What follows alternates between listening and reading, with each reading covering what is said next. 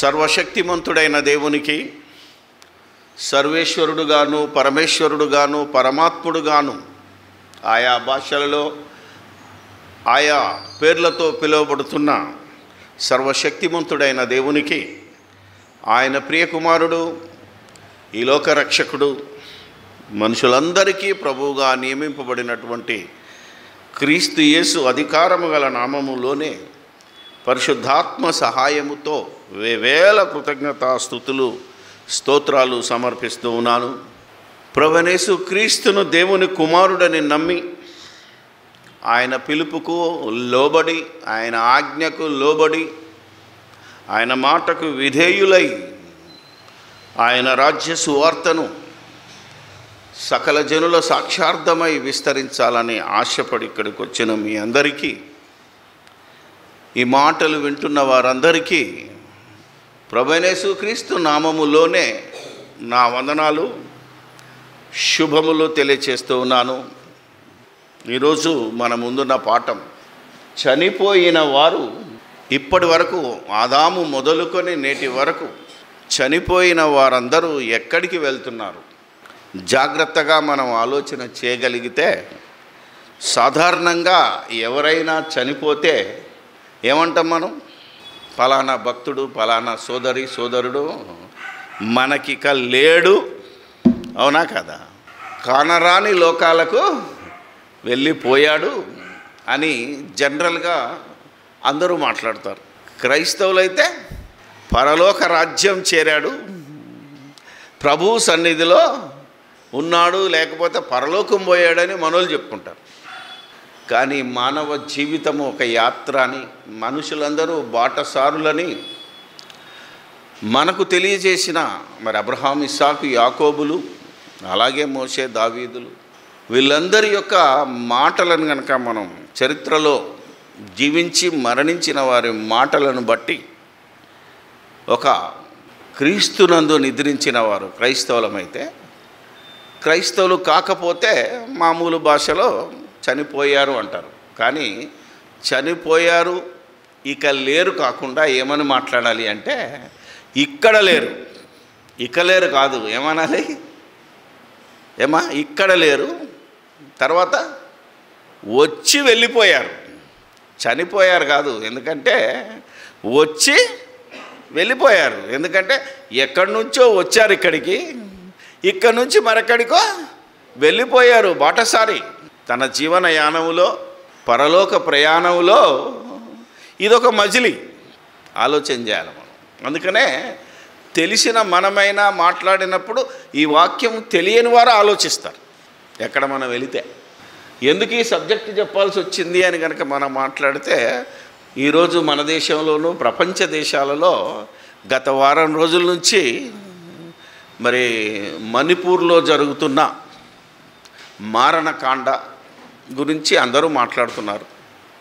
దాదాపు రెండు నెలల నుంచి జరుగుతున్న అక్కడేం జరుగుతుందో ప్రపంచానికి తెలియదు తెలియనివ్వకుండా ఇంటర్నెట్ బంద్ చేశారు కనుక ఎప్పుడైతే సుప్రీంకోర్టు జోక్యం చేసుకుందో అప్పుడు వార్తలు ఒక్కొక్కటి బయటకు వస్తున్నాయి. ఎప్పుడో రెండు నెలల క్రితం జరిగిన సంఘటనకు మనం తెలిసింది కాబట్టి ఇప్పుడు క్రైస్తవ లోకం గగ్గోలు పెడుతుంది. అవునా కదా? అంతకుముందే రెండు వారాల ముందే నేను మాట్లాడాను.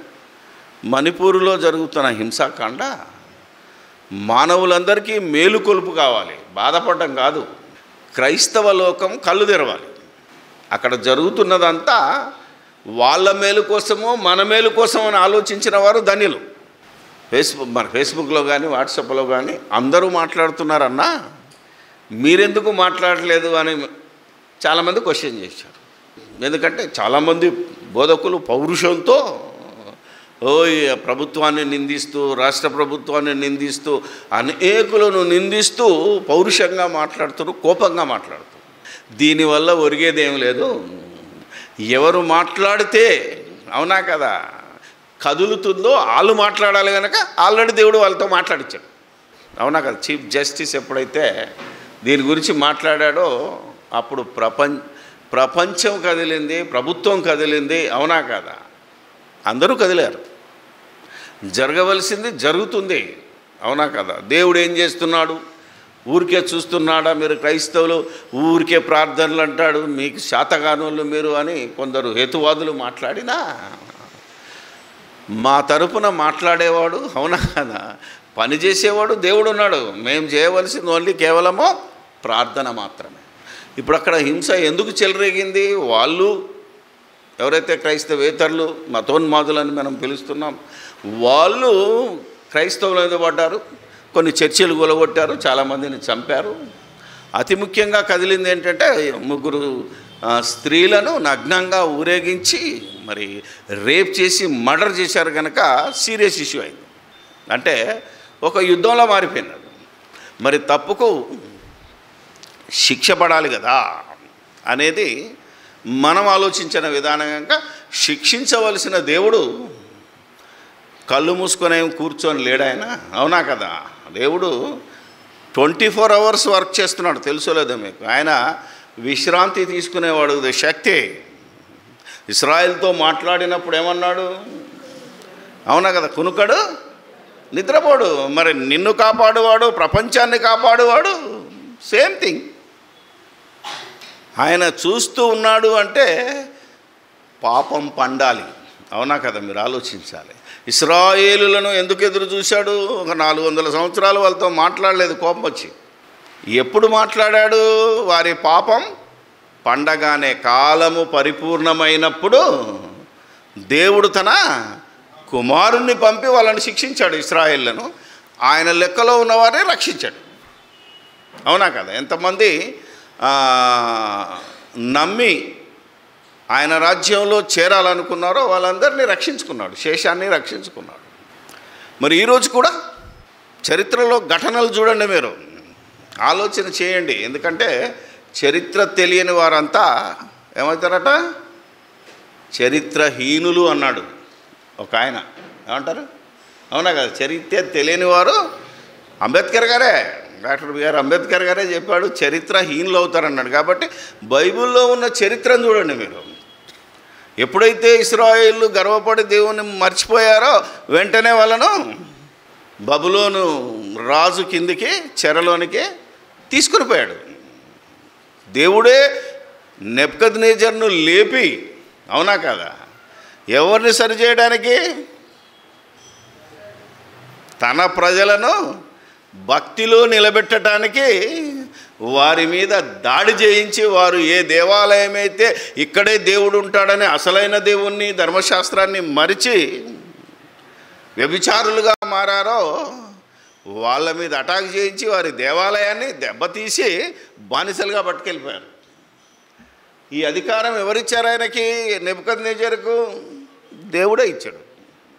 జాగ్రత్తగా గమనిస్తే.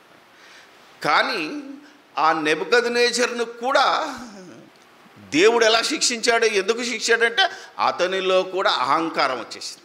ఈరోజు చాలామందికి తెలియట్లేదు సువార్త ప్రకటించట్లేదు మనోళ్ళు. ఏం ప్రకటిస్తున్నారు?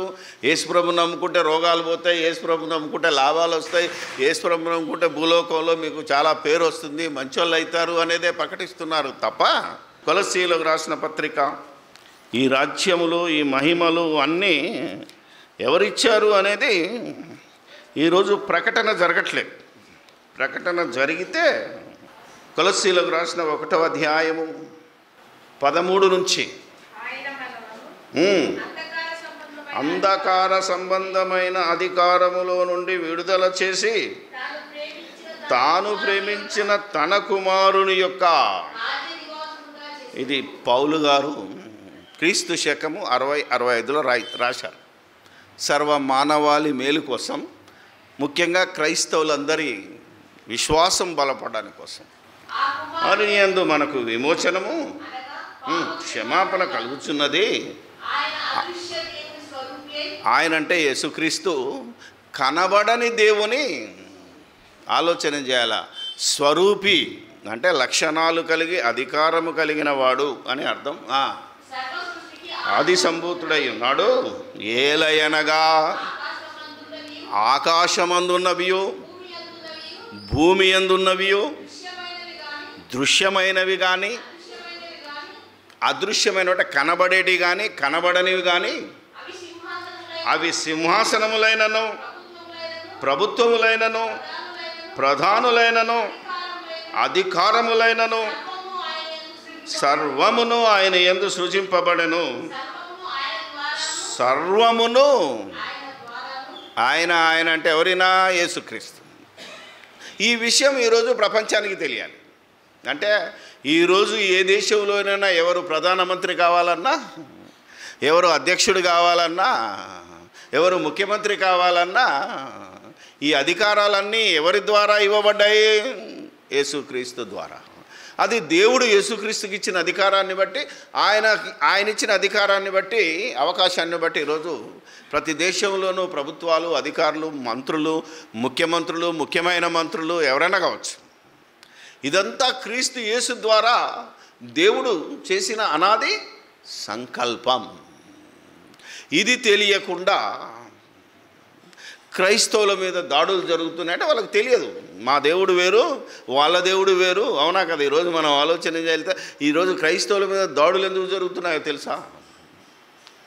ఒకప్పుడు ఇస్రాయేలీలు పెరిగిపోతున్నారు వాళ్ళను చంపేయాలనే ఆలోచన మోషే పుట్టినప్పుడు ఫరోకు సైతాను ప్రేరేపించింది.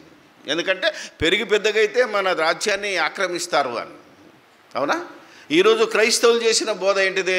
యేసుప్రభు మళ్ళీ వస్తాడు ఢిల్లీ సింహాసనం మీద కూర్చుంటాడు దేశ రాజ్యాలన్నిటి మీద పరిపాలన చేస్తాడు అనే పనికి మాలిన సువార్త ప్రకటింపబడుతుంది కనుక వాళ్ళకేమొచ్చింది?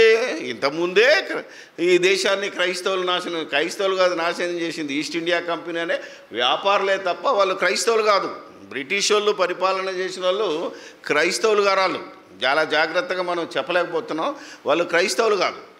వాళ్ళ అధికారంలో ఉన్నప్పుడు క్రైస్తవులు వచ్చి సువార్త ప్రకటించారేమో కానీ అధికారం చేసిన వారు అనేకులను దోచుకున్నవారు చంపినవారు చంపబడ్డవారు క్రైస్తవులు కాదు. ఈ విషయం ఈ ప్రపంచానికి తెలియాలి. కాబట్టి ఈరోజు ఇది తెలియక ఈ సువార్త ప్రకటింపబడక వేరే వాళ్ళు ఏమనుకుంటారంటే క్రైస్తవులు పెరిగితే మా ప్రభుత్వం కూలిపోతుంది ఆయన ఢిల్లీ సింహాసనం మీద కూర్చుంటే ఇక మేమేం చేయాలి అని క్రైస్తవ్యమే ఈ దేశంలో ఉండకూడదు అనే ఒక నిర్ణయానికి వచ్చి దాడులు చేస్తున్నారు తప్ప యేసుక్రీస్తుకు ఈ భూలోక సింహాసనం అక్కర్లేదు గల్లీ సింహాసనం అక్కర్లేదు ఢిల్లీ సింహాసనం అక్కర్లేదు అమెరికా సింహాసనం అక్కర్లేదు. ఆయన పరలోకంలో దేవుని కుడి పార్శ్వమున కూర్చొని ప్రపంచాన్ని పరిపాలిస్తున్నాడు. ఇది తెలుసుకోవాలనే సువార్త ఈరోజు ప్రకటింపబడితే ఇంత దారుణాలు వచ్చేవి కావు. ఇది బైబిల్లో ఉన్న సంగతి ఇది. కానీ దీన్ని సాతాను అను అనుచరులు మరుగు చేసి ఈరోజు ఇలాంటి దాడులకు కారణభూతం అందుకే ఇప్పుడు ఇదే నెబ్కద్ నేచర్ మనం ఆలోచన చేస్తే దానియాల గ్రంథంలోకి వెళ్తే ఒక మాట చూపిస్తాం. ఎందుకంటే ఈ దాడులకు కానీ వీటికి అన్నిటికీ అంతం ఉన్నది దేవుడు తప్పకుండా మరి శిక్ష వేస్తాడు అనే విశ్వాసంతో మనం ఉండాలి కనుక ఈ నెబుకద్ నేచర్ అనేవాడు దేవుడిచ్చిన అధికారంతో మరి దానియేలుకు జరిగిన సంఘటనలను చూసిన తర్వాత ఏం చేశాడయ్యా అంటే ఒక మాట రాశాడు. ఆయన అధికారంలో ఉన్న నూట ఇరవై ఐదు సంస్థానాలంటే అప్పటికి ఇండియా కూడాను పరిపాలించాడు ఆయన. బబులోను సామ్రాజ్యం ప్రపంచంలో మొట్టమొదటి సామ్రాజ్యము మహా సామ్రాజ్యము బబులోను సామ్రాజ్యం దాని తర్వాత మాదీయ పారసీక సామ్రాజ్యం ఆ తర్వాత గ్రీకు సామ్రాజ్యం ఆ తర్వాత రోమా సామ్రాజ్యం. ఇవి ప్రపంచాన్ని పరిపాలించిన మహా సామ్రాజ్యాలు చరిత్రలో. సో మొట్టమొదటి సామ్రాజ్యాన్ని దేవుడు మరి ఆయన కళలో ఒక విగ్రహాన్ని చూపించినప్పుడైనా లేదా జంతువులను చూపించడైనా ఈ యొక్క నెబ్కద్నేజర్ సామ్రాజ్యాన్ని ఎలా చూపించాడు? అతని పరిపాలన బంగారంతో పోల్చాడు. తల మేలిమి బంగారం అన్నాడు. మరొకసారి సింహంతో పోల్చాడు. జాగ్రత్తగా ఆలోచిస్తే అంటే ఎంత ఉన్నతమైందో అంత క్రూరమైనదని కూడా చెప్పడం చూసాం మనం. ఈ నెబద్ నేజరే దానియేలును కాపాడినప్పుడు సింహం బోన్లో నుంచి ఒక మాట రాస్తాడు. మూడవ అధ్యాయము ఇరవై ఎనిమిది నుంచి ముప్పై వచనాలు చూద్దాం. చద్రకో మెషకో అభెజ్ఞగోయను వీరి దేవుడు. పూజార్హుడు ఆయన తన దూత నంపి ఆ, తనను ఆశ్రయించిన చిన్న దాసులను రక్షించను. కాక నమస్కరింపకయు ఉంచకయు ఉందుమని అప్పగించి ఆజ్ఞను వ్యర్థపరిచరే. ఆలోచన చేద్దాం. ఒక అన్యరాజు అతని అతడు విగ్రహారాధికుడు అతని రాజ్యం పెద్దది అతడు వేరే దేవతలను పూజించేవాడు. దేవుడు చేసిన మహత్యాన్ని చూసి ఇప్పుడు ఆజ్ఞాపిస్తున్నాడు ఏమని? ఇస్రాయేలీల దేవుడు దానియేలు దేవుడే పూజార్హుడు నేను శాసనమును నియమించుచున్నాను. ఏదనగా? ఈ విధముగా రక్షించుటకు. దేవుడు సమర్థుడగు దేవుడు కాక. బా మరి ఏ దేవుడునో లేడు అంటే దేవుడు ఒక్కడే. అప్పుడు ఆయన చెప్తున్నాడు మాకొక దేవుడు మీకొక దేవుడు కులానికో దేవుడు మతానికో దేవుడు దేశానికో దేవుడు లేడురా నాయన. దేవుడు ఒక్కడే. నేను నమ్మిన దేవుడు కూడా వేస్ట్ ఇస్రాయేలీలు నమ్మిన దేవుడే దేవుడు అని అంటున్నాడు. ఆ ఇస్రాయేలీలు నమ్మిన దేవుడే ప్రపంచానికి దేవుడే తప్ప జాగ్రత్తగా క్రైస్తవులు కూడా ఆలోచించాలి. క్రైస్తవులకు ఇది తెలియక ఏమంటారంటే మీ దేవుడు మంచోడు కాడు మా దేవుడు గొప్పోడు. అంటే ఇద్దరు దేవుళ్ళు ఉన్నారని క్రైస్తవులే ఒప్పుకుంటున్నారు. కాబట్టి ఇద్దరు దేవుళ్ళు మీ దేవుడు మంచోడు కాదు మా దేవుడు గొప్పోడు అన్న వాడే క్రైస్తవుడు నరకానికి వెళ్తాడు. దుర్మార్గుడు అన్నమాట. ఆలోచన చేద్దాం ఇప్పుడు? రాష్ట్రంలో కానీ మాట్లాడువారిలో కానీ నగోయని వారి దేవుడు సృష్టించునో తుత్తునియలుగా చేయబడును. ఎప్పుడునూ పెంట గుప్పగా ఉండును. దాదాపు క్రీస్తుకు పూర్వం దానియేలు అంటే సుమారు ఆరు వందల సంవత్సరాల క్రితం. క్రీస్తు పూర్వం అంటే నేటికి రెండు వేల ఆరు వందల సంవత్సరాల క్రితం ఈ ప్రపంచంలో జరిగిన చరిత్ర చెప్తున్నాడు దానియాలు. దానియాలు ద్వారా దేవుడు మనకు చెప్తున్నాడు బుద్ధి కలగాలని. ఆలోచన చేయండి జాగ్రత్తగా వినాలి మనం. అప్పుడే ఎవడైతే ఆ నిజమైన దేవుణ్ణి పూజించారో ఎవరైతే ఆ నిజమైన దేవుణ్ణి దూషిస్తారో ఏమైపోవాలి వాడు? తుత్తునియలుగా చంపబడాలి వానిల్లు పెంట కుప్పగా మార్చబడాలి అన్నాడు.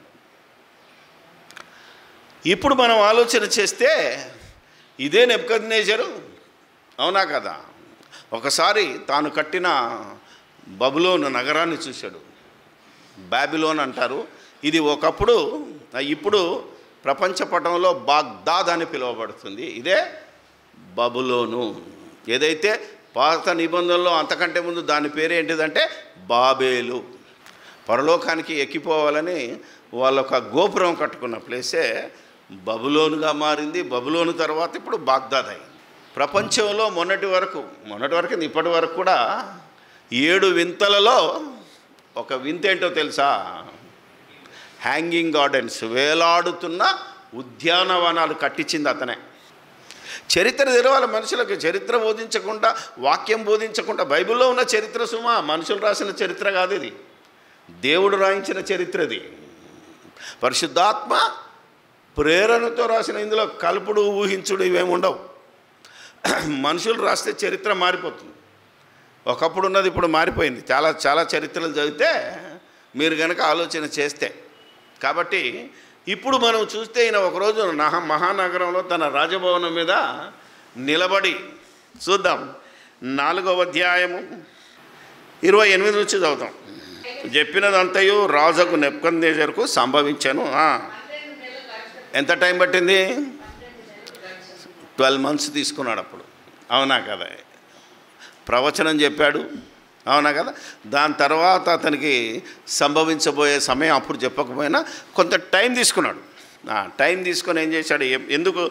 ఎప్పుడు అటాక్ జరిగింది అతని మీద అంటే అతడు ఎప్పుడైతే అతని పాపం పండాలి అవునా కదా? అతడు తప్పు చేయాలి. ఇప్పుడు కూడా తప్పు చేయలేదు మేము చేస్తున్నది రైట్ అనుకొని మరి ఊరేగించబడ్డారు ఊరేగారు. కానీ ఎప్పుడైతే ఆ వీడియో బయటకు వచ్చిందో అవునా కదా? మీరు ఆలోచన చేస్తే పాపం పండుతుంది. ప్రభుత్వం సంచ స్పందించకపోయినా రాష్ట్ర ప్రభుత్వం స్పందించకపోయినా ఒకటి ఉన్నది మన దేశంలో అత్యున్నతమైన ఆయన చూశాక మొత్తం కదిలింది. అంటే ఎవరి ద్వారా దేవుడు ఈ కార్యక్రమం చేశాడు రెండు నెలల తర్వాత? అది ఆలోచించాలి అది. దేవుడు అంటే దేవుడే. మళ్ళా మన దేవుడు ఆ దేవుడు ఈ దేవుడు కాదు. ఆ మాటలు మాట్లాడద్దు. దేవుడు ఒకడే వాళ్ళకు దేవుడు మనకు దేవుడు. ఎవడికి పాపం పడినా దేవుడు ఊరుకోడు. జాగ్రత్తగా మనం వింటే. అందుకని ఏం చేశాడట? పన్నెండు నెలలు గడిచిన పిమ్మట అతడు తన అందు సంచరించుచుండగా అంటే నగరం అంతా చూస్తున్నాడు. తను కట్టిన బిల్డింగ్స్ అవునా కదా? తను కట్టిన హ్యాంగింగ్ గార్డెన్ చూసినట్టున్నాడు మనసులో. అప్పుడు ఏమన్నాడు రాజు? లోనని ఈ మహా విశాల పట్టణము నా బలాధికారము నా ప్రభావ ఘనతను కనచ కనపరచుటకై నా రాజధాని నగరంగా నేను కట్టించినది కాదా? ఏమో ఎప్పుడన్నాడు? బయటకు అన్నాడా ఆడు మనసులోనే అనుకున్నాడు వెంటనే యాక్షన్ ప్రారంభమై ఈరోజు కూడా ఈ ప్రభుత్వాలు అనుకుంటే మా మతం గొప్పది మా జనాలు గొప్పలు మాకు సపోర్ట్ చేసిన వాళ్ళు గొప్పలు ఇది మా ప్రభుత్వం యొక్క గొప్పతనం అని ఏ ప్రభుత్వం చెప్పుకుంటుందో తప్పకుండా యాక్షన్ స్టార్ట్ ఇప్పుడు కూడా ఏ ప్రధానమంత్రి అయినా ఏ రాష్ట్రపతి అయినా ఏ ముఖ్యమంత్రి అయినా ఈ దేశంలో ఉన్న క్రైస్తవ దేశమైనటువంటి ఒక అమెరికా అనుకుంటున్నారు మీరు లేకపోతే బ్రిటన్ అనుకుంటున్నారు ఇజ్రాయెల్ అనుకుంటున్నారు ఎవడు తప్పు చేసినా దేవుడు ఊరుకోడు. మనసులో గర్వం వచ్చిందా? ఇది నా ప్రభావము నా శక్తి మా శక్తి అన్నారు అనుకోండి మనసులో అనుకొనగా నోట ఈ మాట ఉండగా ఆకాశం నుండి ఒక శబ్దం ఆకాశము నుండి ఒక శబ్దం వచ్చను ఏదనగా పద్నేజరు ఇదే నీకు ప్రకటన. అప్పుడు సుప్రీం కోర్టు అప్పుడు సుప్రీంకోర్టు లేదు వాడే సుప్రీం. అవునా కదా? అప్పుడు ఆ దేశంలో సుప్రీంకోర్టు లేదు వాడే సుప్రీం. కాబట్టి దేవుడు ఏం చేశాడు? ఆకాశవాణి తన దూతలను తీసుకొని ప్రకటించాడు. అది ఇంపార్టెంట్ థింగ్ తరిమిదరు. తరిమెదరు నివాసము చేయొచ్చు గడ్డి మేసేదవు. దేవుడు ఏమంటున్నాడు?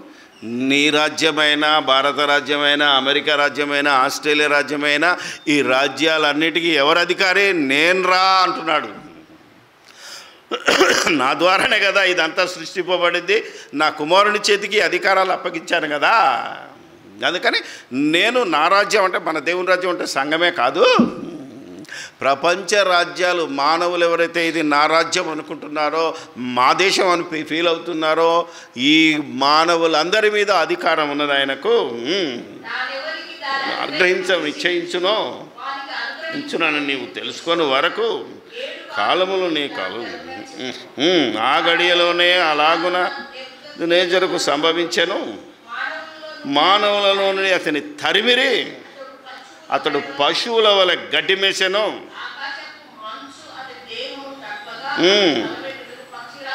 రెక్కల వంటివి. ఈకలయు వంటివి అతని గోళ్ళు పక్షుల గోళ్ళ వంటివి ఆయను. ఇది చరిత్ర. ఇది బైబిల్లో మనకు బుద్ధి కలగడానికి దేవుడు రాయించిన చరిత్ర. ఎప్పుడు చెప్పండి?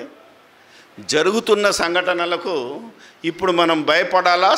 మన విశ్వాసాన్ని స్థిరపరచుకోవాలా? ఏడవాలా? గగ్గోలు పెట్టాలా? ఏమండి? జరుగుతున్నది దేవునికి తెలియదా? ఏమా తెలుసా లేదా? తెలిసేందుకు మరి పర్మిషన్ ఇచ్చాడు అని ఒకవేళ అనుకుంటే ఎవరైతే తప్పు చేస్తున్నారో ఆ తప్పు వాళ్ళకు తెలు తెలిసి రావాలి. కొందరు తెలియక చేశారు అవునా కదా? కొందరు తెలిసి చేస్తున్నారు.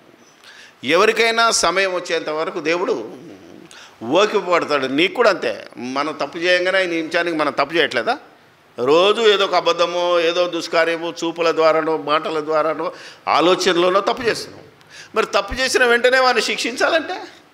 ఈరోజు ఎవడు ఉండేవాడు కాదు. ఇక్కడ ఇంతమంది కూడా కూర్చునే వాళ్ళం కాదు. చెప్పడానికి నేను కూడా ఉండేవాడిని కాదు. తప్పు చేయగానే చంపేస్తే శిక్షిస్తే.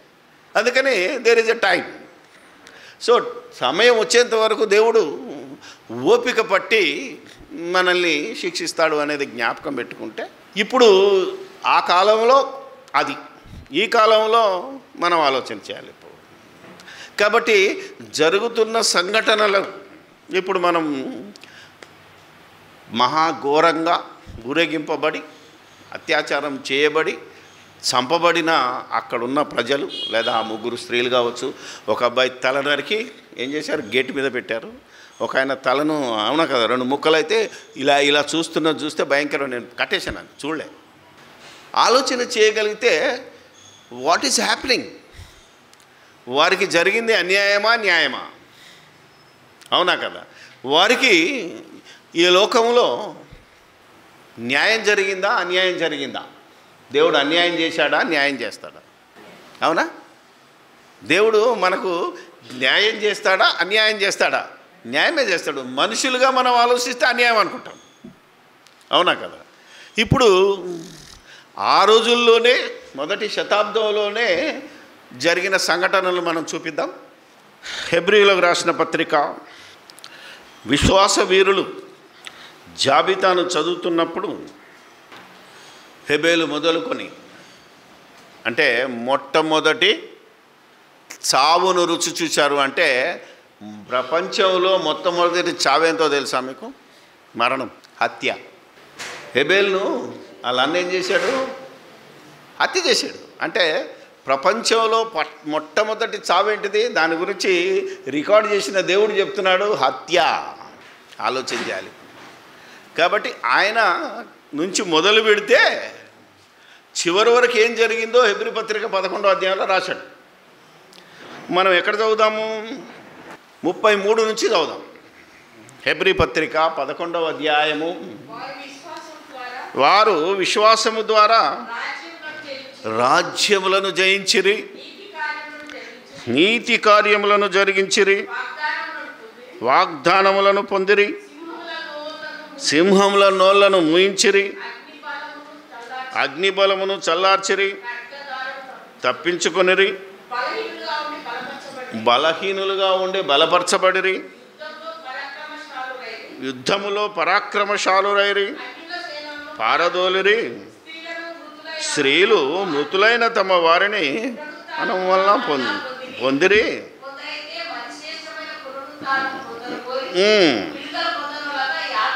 ఇది మొ ఇది మొదటి శతాబ్దం నుంచి జరిగింది. అవు పౌలు బతుకున్న కాలంలోనే జరిగిన సంఘటనలు కూడా రికార్డ్ చేస్తున్నాడు ఆలోచన చేయాలి. ఇప్పుడు ఇద్దరు తిరస్కారములను కొరడా దెబ్బలను మరి బంధకములను ఖైదీలను అనుభవించిరి. ఏం చేశారు? ఇప్పుడు జరిగింది అదే. ఓకే రాళ్ళతో కొట్టబడి రంపములతో దా. ఆలోచన చేస్తే ఎంత భయంకరం అంటే ఏదో చరిత్రలో చూశారట పేతురునట తలక్రిందులుగా సిలివేసి సగానికి సగం కోశారట. రాంపంతో. కొందరు అపోస్తులను అడ్డం కోశారు కొందరిని నిలువుగా కోశారని చరిత్ర చెప్తుంది. Okay right. ఇప్పుడు చెప్దాం.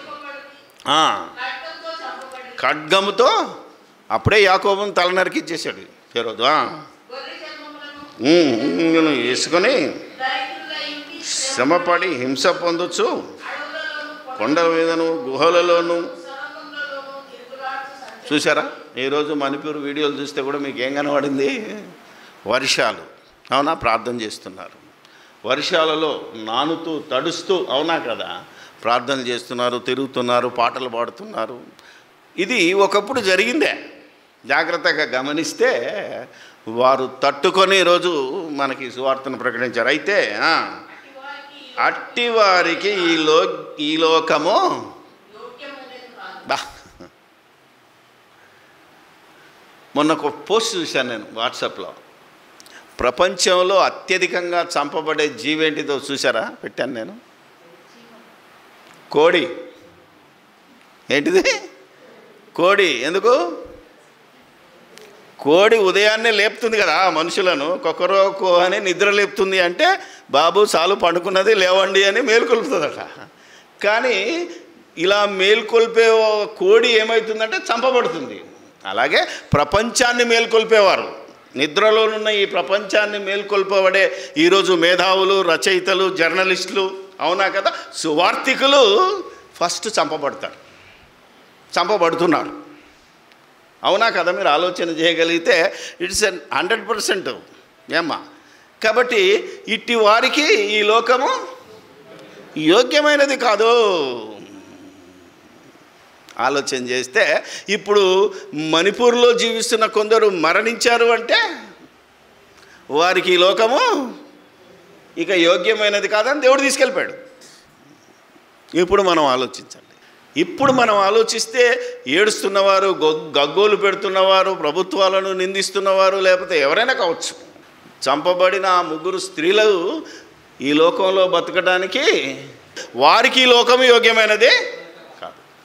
ఎవరైతే హతసాక్షులు అవుతున్నారో ఎవరైతే ప్రపంచాన్ని మేల్కొల్పాలని ప్రపంచాన్ని సువార్త చెప్పాలని వారిని పరలోకం తీసుకెళ్ళాలని దేవుని సంకల్పాన్ని చెప్పాలనుకుంటున్నారో వారికి ఈ లోక్యము ఈ లోకము యోగ్యమైనది కాదు గనక దేవుడు ఏం చేస్తున్నాడు? ప్రకటన గ్రంథం పద్నాలుగవ అధ్యాయం. ప్రకటన గ్రంథం పద్నాలుగవ అధ్యాయము పదమూడవ పన్నెండు నుంచా? పదమూడు. అంతటా ఇప్పటి నుండి అబ్బా క్రీస్తును నమ్మి నమ్మిన మృతులు ధన్యులని బా యోహాన్ గారికి చెప్తున్నాడు. ఇప్పటి నుండి యేసుక్రీస్తును నమ్మి యేసుక్రీస్తులాగా బ్రతకడానికి యేసుక్రీస్తును ప్రకటించటానికి యేసుక్రీస్తును ఈ లోకానికి పరిచయం చేయడానికి ఎంతమంది అయితే మృతులవుతారో వారెవరట? ధన్యుల అభాగ్యుల. ఏమండి చెప్పండి? ధన్యులు. అది మన దాకా రాబోతుందని ఈరోజు మనల్ని హెచ్చరిస్తున్నాడు దేవుడు. ఒకవేళ నీ దాకా వస్తే ఏం చేస్తాం? అన్నీ వాళ్ళే కదా. ఈరోజు ర్యాలీలు ఇద్దాం లేకపోతే మెమరాండం ఇద్దాం అంటే ఎవరికి ఇస్తాం? అవునా కదా? రాష్ట్రంలో వాళ్ళది అధికారం దేశంలో వాళ్ళది. ఎవరికి ఇస్తాం? కాబట్టి నీకు అలాంటి పరిస్థితి వస్తే ఏమవుతుంది? దరి భరించి అంతకంటే ఏం చేయలేవు. ధన్యలేవు. పెద్ద నష్టమేం లేదు. అందుకని క్రీస్తునందు మృతునందున వారు ధన్యులని వ్రాయము. వారు. ఒక స్వరము. తిని నిజమే. వారు తమ ప్రయాసములు మాని బా విశ్రాంతి పొందుదురు. వారు తమ ప్రయాసములు మాని విశ్రాంతి పొందుదురు. వారి క్రియలు వారి వెంట పోవునని ఆత్మ చెప్పుచున్నాడు. అంటే పరిశుద్ధాత్మ ద్వారా వ్రాయించాడు ఏంటంటే ఎవరైతే క్రీస్తు కోసం హతసాక్షులు అవుతారో ఎవరైతే సువార్త నిమిత్తం మరి ఈ లోకంలో నరక యాతన పెట్టబడతారో వారు ధన్యులు. వారు తమ ప్రయాసములు మాని విశ్రాంతి పొందుదురు. ఇదే మాట ఎక్కడ చెప్పాడు? యేసుప్రభు మొట్టమొదటి మాట ఏంటిది? ప్రయాసపడి భారము మోయుచున్న సమస్త జనులారా నా యుద్ధకు రండి నేను మీకు ఇప్పుడు చంపబడితే విశ్రాంత నష్టమా? ఏమండి? చచ్చిపోతే విశ్రాంత నష్టమా? ఎవడికి నష్టం? ఈ లోకాన్ని అనుభవించాలని ఈ లోకాన్ని శాశ్వతం చేసుకోవాలని అధికారమే శాశ్వతం అనుకొని తాత ము- ముని మనుమలు సంపాదించి వాళ్ళు బతకడానికి ఎవడైతే సంపాదించుకున్నాడో ఆడికి బాధ. అవునా కదా? అధికారం మా చేతుల్లోనే ఉండాలి అని ఎవడైతే అనుకుంటున్నాడో అధికారం అశాశ్వతం. మనిషి అనేవాడే మాయా. మతం అనేది మత్తు కులం అనేది కుళ్ళు. దేవుడే దిక్కు. ఆ దేవుని దగ్గరికి వేసే మార్గం. ఇది ప్రకటించడం మానేస్తున్నారు కాబట్టే ఈరోజు సంఖ్య పెరుగుతున్నా భక్తి పెరగటం లేదు. ఏమండి? ఈ రాష్ట్రంలో ఎన్ని ఒకసారి మాట్లాడితే ఈరోజు కుత్బులాపూర్ కాన్స్టిట్యున్సీలో ఎంతమంది పాస్టర్లు ఉన్నారు అని ఒకసారి లెక్క తేలితే ఐదు వందల నలభై మంది తేలారు లాస్ట్ ఇయర్. ఆలోచించారా? ఇన్ని దుకాణాలు తెరిస్తే ఈ కాన్స్టిట్యున్సీ ఎలా ఉండాలి? ఏమండి? పోలీస్ స్టేషన్లో కేసులు తగ్గాలనా పెరగాలనా? ప్రపంచ ప్రజల మధ్యలో శాంతి సమాధానం సహోదరత్వం నిన్ను వలే అని ఉండాలనా? ఉందా? లేకపోతే కేసులు పెరుగుతున్నాయా? పోలీస్ స్టేషన్ కూడా మొన్న పెంచారు తెలుసా మీకు? అంటే ఇంతమంది క్రైస్తవులు ఉంటే ఇన్ని శాంతి ర్యాలీలు తీస్తే ఏముండాలి ఈ ప్రాంతం? శాంతిమయంగా ఉండాలి కానీ రోజు రోజు కొట్టుకు చచ్చిపోతుంది ప్రజల మధ్యనే కాదు చర్చిల మధ్య ఐక్యత లేదు తెలుసా? సహోదరులు ఐక్యత కలిగి ఉండుట ఎంత మేలు? కానీ ఏ సహోదరుని మధ్య ఐక్యత లేదు. ఈ రోజున్న చర్చి రేపటికి రెండు ముక్కలు అయిపోతుంది. కాబట్టి ఇదంతా తగ్గాలి అంటే ఏం చేయాలి ఇప్పుడు? దేవుడు ఖచ్చితంగా నీ మీదికి నిన్ను తన్నేవాన్ని రప్పించాలి. ఒకప్పుడు నెబ్కద్ నేజర్ ఎలా రప్పించాడో ఇప్పుడు అదే జరుగుతుంది.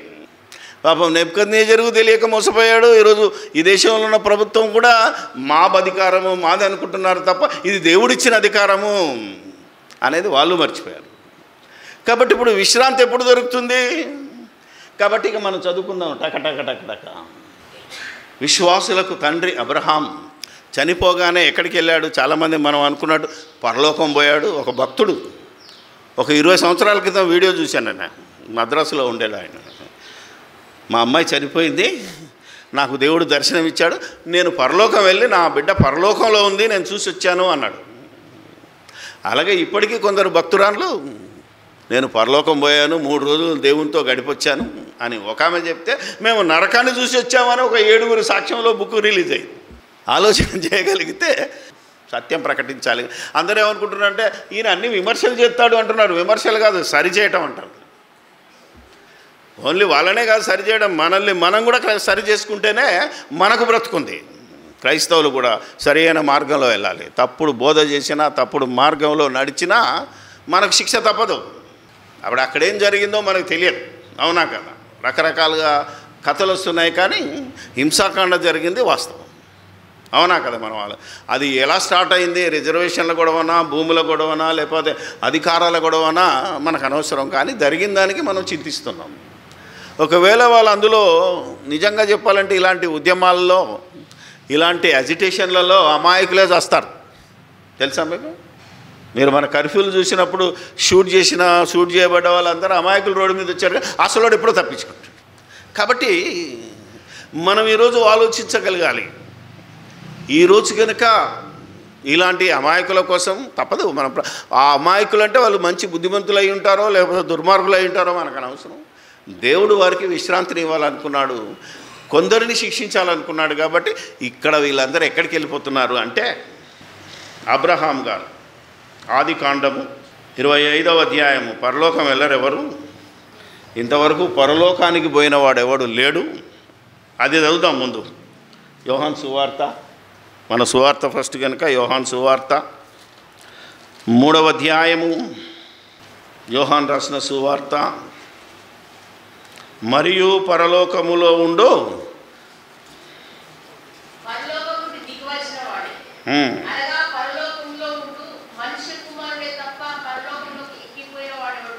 బా పదమూడు పద్నాలుగు వచనాలండి. యోహాన్ సువార్త మూడవ అధ్యాయము. అంటే దేవుని వాక్యం సెలవిస్తుంది ఏంటంటే ఇంతవరకు పరలోకానికి ఎక్కిపోయిన వాడు ఎవడు లేడు? ఒక్కడే పరలోకాన్ని నుంచి వచ్చినోడు ఒక్కడే పరలోకానికి వెళ్ళినోడు ఆయనే ప్రభు అయినేసు క్రీస్తు. మరి ఇంతవరకు సరిపోయిన వీళ్ళందరూ ఎక్కడ పోతున్నారు? ఆలోచన చేయాలి. ఆలోచన చేస్తే అర్థమవుతుంది. పరలోకానికి ఎవడు? ఇప్పుడు మనం అపోసల కార్యాలు చూస్తే దావీదు కూడా ఇంతవరకు పరలోకానికి పోలేదు. దావుడు దేవు దావీదెవరట దేవుని ఇష్టానుసారుడైనా. ఇప్పుడు మనం ఆలోచన చేస్తే రెండవ దావీదు పరలోకమునకు ఎక్కిపోలేదు. కానీ క్రీస్తుని గురించి ప్రకటించి పరలోకం నుంచి వచ్చినవాడు పాతాల లోకానికి వెళ్ళినవాడు పాతాల లోకం నుంచి భూలోకానికి వచ్చినవాడు మళ్ళీ పరలోకం వెళ్ళినవాడు ఒక్కడే యేసుక్రీస్తుని సాక్ష్యం ఇచ్చాడు కాబట్టి మరి విశ్వాసులకు తండ్రి మన ఇప్పటి వరకు చనిపోయిన వాళ్ళందరూ ఎక్కడ విశ్రాంతి పొందుతున్నారు? చరిత్ర చూద్దాం. ఆది కాండం ఇరవై ఐదవ అధ్యాయం. ఇది బైబిల్. మనం ఎవరినో విమర్శించకుండా మనల్ని మనం విమర్శించుకుంటే తెలుస్తుంది. ఇరవై ఐదు ఎనిమిదో వచనం. అబ్రహాము నిండు వృద్ధాప్యమునకు వచ్చినవాడై మంచి మంచి ముసలితనమున ఏ రోగం లేదు. అవునా కదా? ఆరోగ్యంగానే ఉన్నాడు. మంచి ముసలితనాన. ఎవరు అటాక్ చేయలేదు? అవునా కదా మనం వాళ్ళు ఏం చేయకపోయినా మరణిస్తావు. మరణం అంటే ఏంటిది? నీ ప్రాణాన్ని విడిచడమే అంటే ఈ శరీరాన్ని వదిలి శరీరంలో ఉన్న ఆత్మ బయటికి వెళ్ళడమే మరణం. సో ఇక్కడ ఒక బెస్ట్ పాయింట్ చెప్తాను మీరు మళ్ళీ. ఇదివరకు చెప్పాను గుర్తుంచుకోండి. ప్రాణం విడిచి మృతి పొంది పరలోకం పోలేదు ఆయన. ఆయన తాత ముత్తాతలు చనిపోయి ఎక్కడికి వెళ్ళారో అక్కడికే వెళ్ళిపోయాడని చెప్పాడు. ఎందుకంటే అక్కడ ఆల్రెడీ చెప్పేశాడు కదా పరలోకానికి పోలేదు అంటే ఎవడెక్కిపోలేదు అంటే ఇప్పుడు విశ్వాసులకు తండ్రి అయిన అబ్రహాం ఎక్కడికి వెళ్ళాడు? తన తాత ముత్తాతలు ఎక్కడికి వెళ్ళారో అక్కడికి వెళ్ళాడు. పితరుల యుద్ధకు వాళ్ళు మంచివారా చెడ్డవారా అని చెప్పలేదు కానీ చనిపోయిన వారందరూ ఎక్కడికి వెళ్తున్నారో అక్కడికి వెళ్ళిపోయాడు. అంటే ఒక ఫస్ట్ చంపబడిన ఆయన ఎవరు? హెబేలు. తర్వాత ఆదాము తర్వాత హానోకుని తీసుకో ఆ తర్వాత నోహం తీసుకో వాట్ ఎవర్ ఇట్ మేబీ వాళ్ళు ఎక్కడికి వెళ్ళారో? ఈయన అక్కడికి వెళ్ళిపోయాడు. ఇప్పుడు ఇసాకు ముప్పై ఐదో అధ్యాయము ఇరవై ఎనిమిది ఇరవై తొమ్మిది. ఇసాకు బ్రతికి దినదినములు. నూట ఎనభై సంవత్సరములు. ఇస్సాకు కాలము నిండిన వృద్ధుడై ప్రాణము విడిచి తన పితరుల యుద్ధకు ఈయన అడిగేవాడు అబ్రహాము దేవుడు ఇస్సాకు దేవుడు యాకోబు దేవుడు అని పిలువబడ్డ దేవుడు కూడా వాళ్ళని ఎక్కడికి తీసుకెళ్తున్నాడు? పితరులు బతుకున్నాడు ఇప్పుడు లాస్ట్. ఆ తర్వాత మీకు మోషే అహరోన్లది కూడా చూపిస్తాను దావి చూపించాను. ఆది కాండము నలభై తొమ్మిదవ అధ్యాయము ముప్పై మూడు చదవండి. యాకోబు పించుట చాలించి కాళ్ళు ముడుచుకొని ఇక్కడ ఒక వర్డ్ మిస్ అయింది. ఇద్దరి దగ్గర వాడ వాడబడిన పదము ఇక్కడ వాడలేదు దేవుడు. సో వండర్ఫుల్ అంటే సత్యవాక్యాన్ని సరిగా విభజించి చదివితే ప్రతి వచనాన్ని కనుక మీరు చదివి ఆలోచించగలిగితే దేవుడు మనకు వివేకాన్ని ఇస్తాడు. అందుకే ఇలా చదవమని నేర్పేదే ఇన్స్టిట్యూట్ ఆఫ్ బైబిల్ టెక్నాలజీ అంతేగాని మిమ్మల్ని బతిలాడేది కానీ భయపెట్టేది కానీ ఆశ చూపించి రండి అని చెప్పి వస్తే నీకు లాభం పోతే రాకపోతే నీకే నష్టం మనకేం వచ్చే నష్టం. కాబట్టి ఇక్కడ ఒక వర్డ్ మిస్ అయింది. ఏ వర్డ్ మిస్ అయిందో ఒకసారి చెప్పండి. చదివిస్తాను చూడండి మళ్ళా. మంచము మీద తన కాళ్ళు ముడుచుకొని ప్రాణము విడిచి తన స్వజనుల యుద్ధకు అంటే పితరులే స్వజనులు అంటే పెద్ద కొత్త మార్గం మాట కాదు. చేర్చబడిన. ఇక్కడ మిస్ అయిన పదం ఏంటి?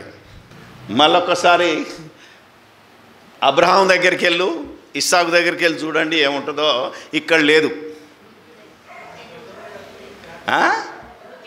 మృతి పొంది అనే పదం యాకోబు దగ్గర లేదు.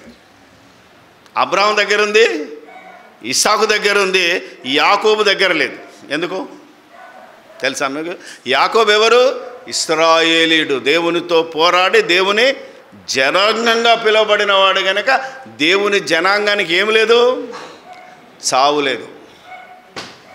మృతి లేదు. అందుకనే క్రీస్తు యేసును దేవుని కుమారుడు నమ్మి బాప్తిసం తీసుకుంటే నువ్వు మరణంలో నుండి జీవంలోనికి దాటుతావు అంటే నీకు చావు నీ మీద అధికారము చెలాయించాలంటే రెండో మరణం అంటే నీకు నరకం లేదు ఇక.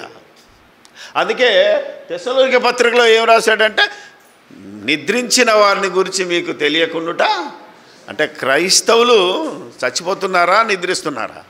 ఇప్పుడు చెప్పండి. తల నరకబడిన సోదరుడు మణిపూర్లో నిద్రపోయాడా చచ్చిపోయాడా? ఆలోచన చేయాలి ఇప్పుడు. నిద్రపోయాడు. ఎక్కడ నిద్రపోతున్నాడు?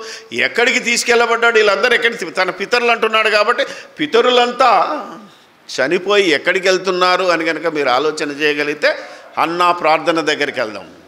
సమూయేలు గ్రంథం అందుకే రాయించాను.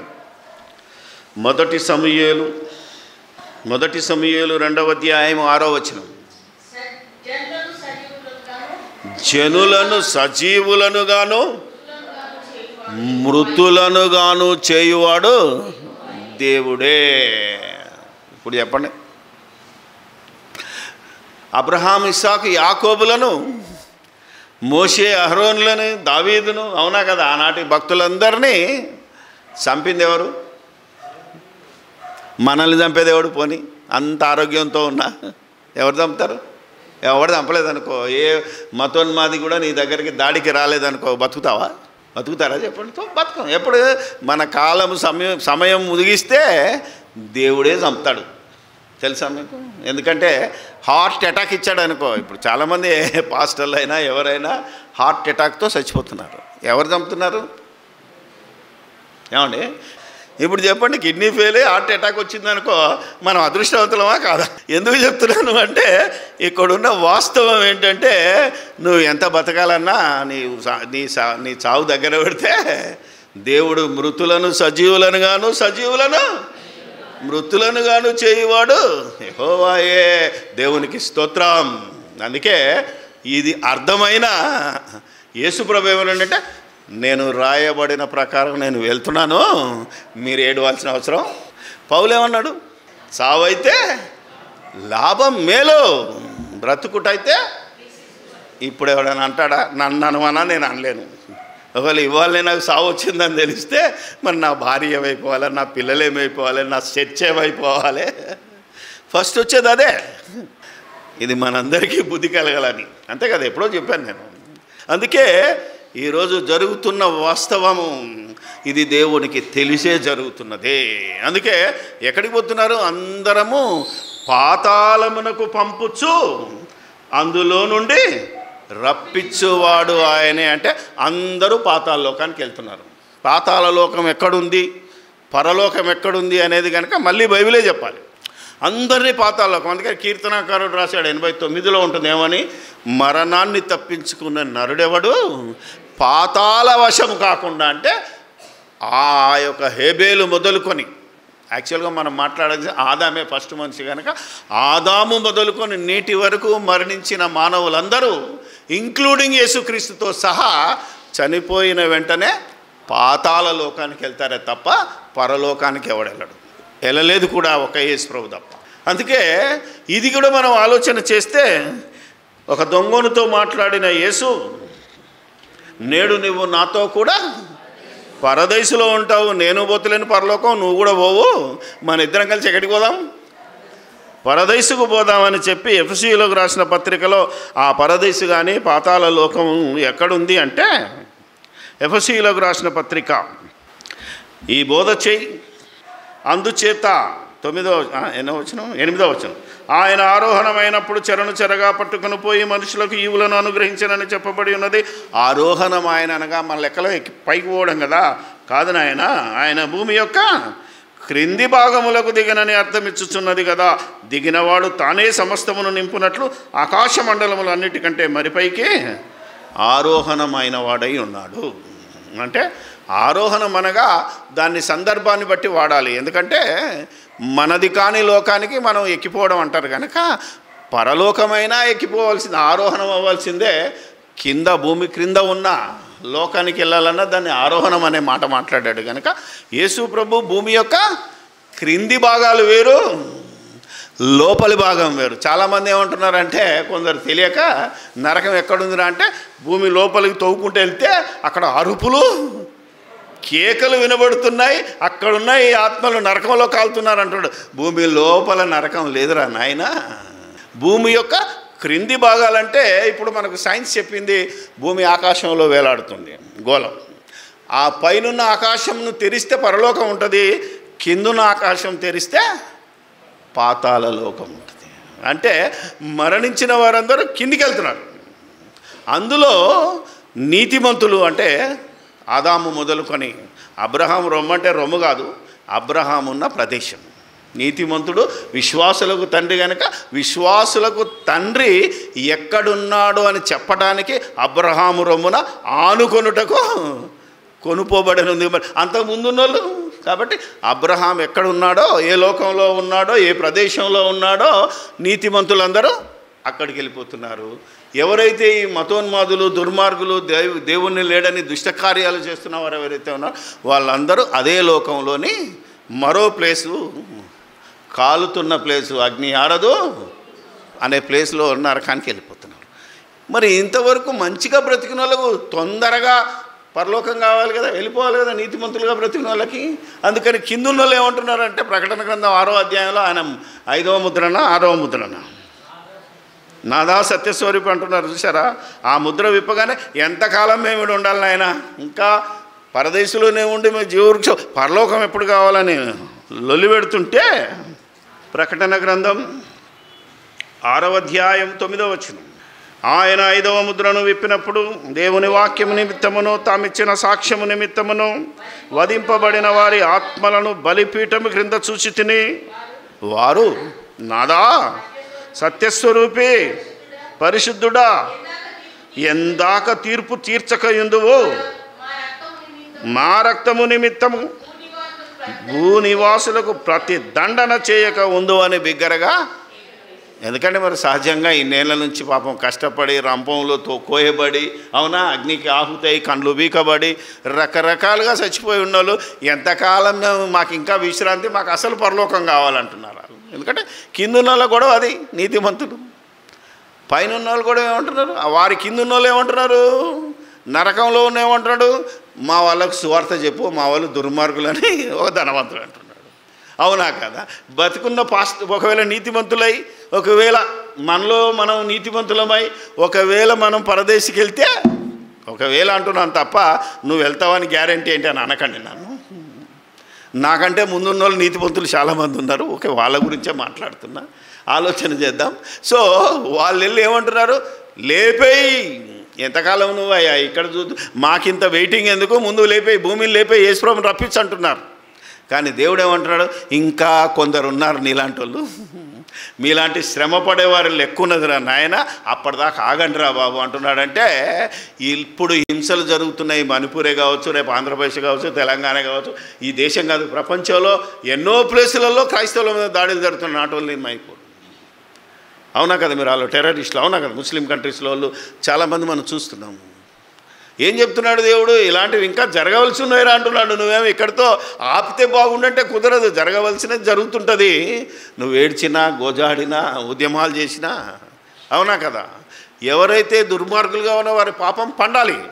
ఎందుకంటే దేవుడు అన్యాయంగా శిక్షించాడు కదా. నీ పాపం పండింది. నువ్వు ఇలాగ మారణకాండ జరిగించావు. నువ్వు ఇలాగ హత్యలు చేయించావు. నువ్వు ఇలా ఆహా చేయించావు కనుక నువ్వు ఖచ్చితంగా మట్టిలో కలవాల్సిందే అని ఆరికి సాక్షార్థంగా చెప్పటానికే ఇంకా కొద్ది కాలం ఈ భూమిలో ఇలాంటివి జరుగుతుంటాయి కనుక బాధపడకుండా వారిని ఎలా దేవుడు ఓదార్చాడో అంతవరకు మనమందరము పాతాల లోకంలోని పరదైసులో జీవవృక్ష ఫలం అంటే వాక్యం కోసం నువ్వు ఈ భూమి మీద ఎలా బ్రతికావో సువార్త ప్రకటన కోసం ఎన్ని కష్టాలు పడ్డావో ఎంత ధనాన్ని ఖర్చు పెట్టావో ఆ ధనం ఖర్చు పెట్టిన దాని ఫలితాన్ని పరదైసులో జీవవృక్ష ఫలం అంటే జీవవృక్షం అంటే వాక్యం.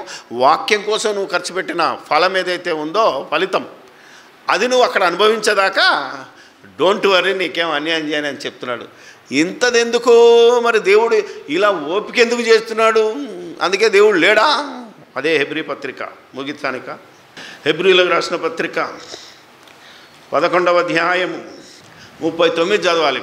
అటు వారికి లోకం యోగ్యమైనది కాదని చెప్పి ముప్పై తొమ్మిదిలో చెప్తున్నాడు దేవుడు అన్యాయస్తుడు కాడు దేవుడు పక్షపాతి కాడు దేవుడు న్యాయవంతుడు కనుక వీరందరూ అంటే ఆదాము మొదలుకొని అంటే ఫస్ట్ హేబేల్ అనుకోండి మొదలుకొని నేటి వరకు మరణించిన వారందరూ తమ విశ్వాసము ద్వారా సాక్ష్యము పొందిన వారైనను మనము లేకుండా అంటే బ్రతికున్నప్పటి వరకు బ్రతికున్న మనము లేకుండా. మొదటి అక్కడి వరకు రాసిన వాళ్ళు సాక్ష్యం చెప్పాడు. మరి యేసుక్రీస్తు వచ్చిన తర్వాత మరణించిన వారు?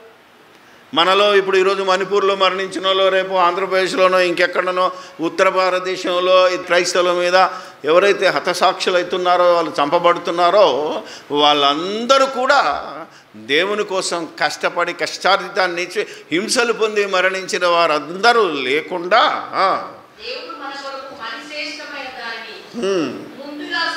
సిద్ధపరిచిన గనుక ఆ వాగ్దాన ఫలమును అనుభవించడం లేదు. లేదు అంటే ఆదామును కానీ హెబేల్ను కానీ ఇంకా పరదేశంలో ఎందుకు ఉంచాడు? దావీదుని ఎందుకు ఉంచాడు? ఒక అబ్రహాం ఇస్సాకును ఎందుకు ఉంచాడంటే దేవుడు అన్యాయస్తుడు కాడు. ఎందుకంటే వచ్చిన వాళ్ళందరం ఎప్పుడైతే ఆదాము వచ్చాడో భూమి మీదకి ఆదాములోనే మనం వచ్చాం. ఆదాము ద్వారానే ఈ ప్రపంచ ప్రజలందరూ ఒకని ద్వారా వచ్చారు గనక ఆదాము ముందు పోతే దేవుడు అన్యాయస్తుడు అవుతాడు గనక ఆదాముతో పాటు మనం కూడా ఉండి అందరం ఒకేసారి పరలోకం వెళ్ళాలి. అది దేవుని యొక్క సంకల్పం. కాబట్టే ఈ భూమి మీద బతికినప్పుడు కష్టాలు ఉంటాయి నష్టాలు ఉంటాయి ప్రాణాలు పోతాయి అవునా కదా? రోగాలు వస్తాయి సునామీలు వస్తాయి. ఏమన్నా వస్తాయి అందులో చనిపోయిన వారు ధన్యులే. క్రీస్తు నిమిత్తం బ్రతికిన క్రీస్తు నిమిత్తం బ్రతకకుండా క్రైస్తవులను హింసించిన వారికి అక్కడ నిత్యాగ్ని దండన ఉంది. అగ్ని ఆరదు? పురుగు చావని ప్రదేశం. వారి కోసం అది ఎదురు చూస్తున్న పాతాలము నోరు తెరిచి ఎదురు చూస్తుంది కనుక మనం వరి కావాల్సిన పని లేదు. కాకపోతే మనం చేయవలసింది ఏంటిది? ప్రార్థన అనేది కంపల్సరీ అందరినీ చేయమన్నాడు కనుక ప్రార్థన చేయడం అనేది మర్చిపోకండి. ప్రార్థనతో మనకు బలం వచ్చి రేపు ఆ పరిస్థితి మన ఇంటికే వస్తే మనకే వస్తే నో ప్రాబ్లం. ఇది దేవుడు నేను క్రైస్తవురాలైనందుకు క్రైస్తవుడైనందుకు శ్రమ తప్పదు. పేతురు పత్రికలో ఉంటుంది బాధ అనుభవించిన ఏడల ఆ పేరును బట్టి ఇప్పుడు ఆ ముగ్గురు స్త్రీలు క్రైస్తవులు కనుక వారు దేవుణ్ణి మహిమపరిచారు. దేవుడు వారి కోసం మరి శ్రేష్టమైన ప్రదేశాన్ని పెట్టాడు కనుక ఇంకా మన కోసం ఎవరైనా ఓపిక లేని వాళ్ళు ఉంటారు కదా. అంత విశ్వాసం లేని వాళ్ళు అలాంటి ఛాన్స్ రాని వాళ్ళు ఉంటారు. అలాంటి ఛాన్స్ వచ్చినప్పుడు వారు భరించి ఇక చచ్చిపోతున్నాం అనేటప్పుడు ఏం చేయాలి వాళ్ళు? ప్రార్థన మనకు వచ్చిందనుకో మనం ఏం చేయాలి? దేవానికి స్తోత్రం నాకు వెళ్ళవలసిన నాకు ఇవ్వవలసిన ప్లేస్ నాకు ఇవన్నీ నాకు అనవసరము. నా పాపాలను క్షమించు. వారి పాపాన్ని కూడా క్షమించి ఏం చేయాలి? నాకు నీ యొక్క విశ్రాంతిని దయచేయమని ప్రార్థన చేసుకొని స్టెఫెన్ ఎలాగా తన ప్రాణాన్ని విడిచాడో అలాగా క్రైస్తవులందరూ ప్రాణము విడిస్తే ధన్యులని దేవుని వాక్యము సెలవిస్తుంది. యహోవా భక్తుల యొక్క మరణము ఆయన దృష్టికి విలువైనది అనే పదాన్ని కనుక మనకు అర్థం చేసుకుంటే మనం ధన్యులము ప్రార్థన చేసుకుందాం.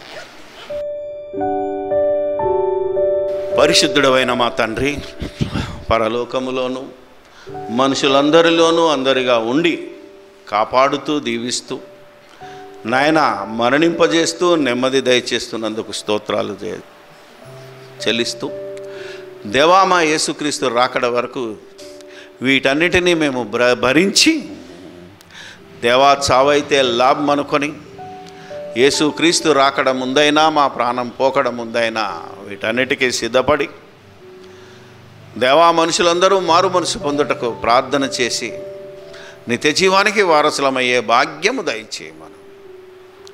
యేసు ప్రభు దివ్యనామాన ఈ ప్రార్థన మీకు సమర్పిస్తున్నాము తండ్రి. ఆమె అందరికీ వందనాలు.